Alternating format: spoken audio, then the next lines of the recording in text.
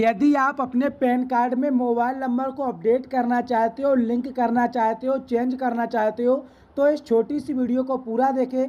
फिर आप भी हमारी तरह कहीं पछताए नहीं, इसलिए आप देख सकते हो, हमने जो है, हमारा पैन कार्ड, जब हमने पैन कार्ड में मोबाइल नंबर, हमारा दूसरा लिंक था और ईमेल आईडी दूसरी लिंक थी तो हमने क्या किया, उसमें अपडेट किया था। आप देख सकते हो, यहाँ पर जो है, कुछ इस तरीके से जब हमने डाउनलोड किया था तो यहाँ पर सिग्नेचर थे। आप लोग देख सकते हो। फ़ोटो यहाँ पर वो वाली थी जो हमने यहाँ पर अपलोड की हुई थी। फादर्स का नाम भी यहाँ पर डाला हुआ था। लेकिन दोस्तों, जैसे ही हमने पैन कार्ड में मोबाइल नंबर और ईमेल आईडी को चेंज किया तो कुछ इस तरीके से हो गया। आप लोग देख सकते हो यहाँ पर जो है फ़ोटो कुछ इस तरीके से आ गई। जो हमारी आधार कार्ड में लगी थी, वो फ़ोटो आ गई और यहाँ से सिग्नेचर भी जो है हट गए।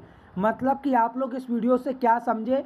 आप लोग ये समझे कि आप जब भी पैन कार्ड में मोबाइल नंबर या ईमेल आईडी को अपडेट करें, चेंज करें, लिंक करें तो साथ साथ आपको अपनी फ़ोटो और सिग्नेचर को भी अपलोड कर देना है, जिससे शायद आपको यह प्रॉब्लम देखने को ना मिले। दोस्तों, जब भी हमने चेंज किया था पैन कार्ड में अपना मोबाइल नंबर और ईमेल आईडी लिंक की हुई थी तो हमने फ़ोटो और सिग्नेचर साथ में अपलोड नहीं किए थे, जिससे क्या हुआ कि हमारा जो है सिग्नेचर हट गया फादर्स का नाम बना रहा फ़ोटो यहाँ पर आधार कार्ड वाली आ गई। तो आप लोग इस बात का ध्यान रखें, पैन कार्ड में मोबाइल नंबर अपडेट करते समय आप अपनी फ़ोटो और सिग्नेचर भी साथ में अपलोड कर दें तो आपको ये प्रॉब्लम नहीं होगी।